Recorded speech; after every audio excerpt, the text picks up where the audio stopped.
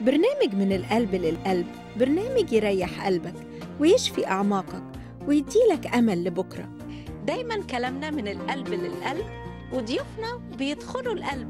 انتظرونا في الحلقة القادمة مع جوني يوسف قائد الشباب بآي هاب في حلقة بعنوان جيل جديد في المواعيد اللي على الشاشة.